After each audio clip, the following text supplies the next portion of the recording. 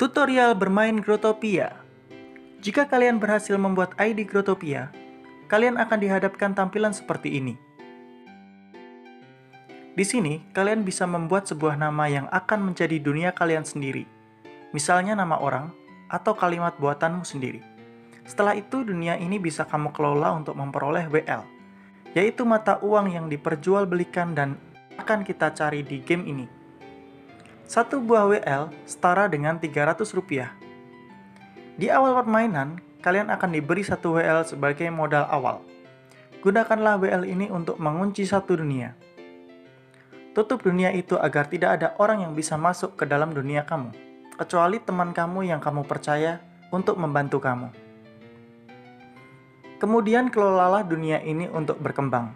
Cara untuk mengelola dunia ini adalah dengan mengebrik atau menghancurkan seluruh sumber daya yang ada di dunia tersebut. Kita mengubah sumber daya yang kita hancurkan itu menjadi sebuah seed atau benih. Seluruh item Grotopia bisa dijual atau memiliki harga jual, tapi harga barang ditentukan dari jumlah kelangkaan dan berapa banyak minat player untuk memiliki barang tersebut. Seperti kehidupan nyata, semakin langka suatu barang, maka harga semakin mahal. Contoh dirt atau cave Tanah ini sangat mudah didapat, sehingga harga jual benihnya pun murah. 200 benih senilai dengan 1 HL. Lalu, lava bernilai 1 WL per 200 lava seed. Harga lava lumayan mahal karena memiliki resiko break dan berfungsi banyak sekali. Untuk mengecek harga suatu barang, kalian bisa keluar dari word kalian dan ketik buy lava. Maka di sana kalian akan bertemu dengan para penjual dan pembeli yang membutuhkan lava. Begitu pula dengan item-item lain yang memiliki nilai jual berbeda-beda.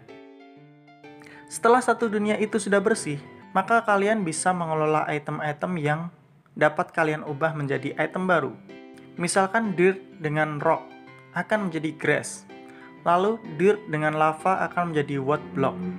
Kemudian wood block dengan grass akan menjadi wooden platform. Nah, coba kita farm wooden platform ini dan kita jual.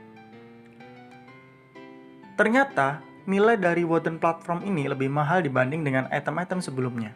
Kalian bisa mencoba dengan item lain yang memiliki rarity lebih tinggi, sehingga hasilan kalian akan semakin lebih tinggi juga. Untuk mengetahui resep item yang bisa kalian kombinasikan, kalian bisa cek di fandom, dan di sana lengkap resep apa saja yang kalian butuhkan untuk menjadi item baru di game ini. Maka kreatiflah dalam bermain game.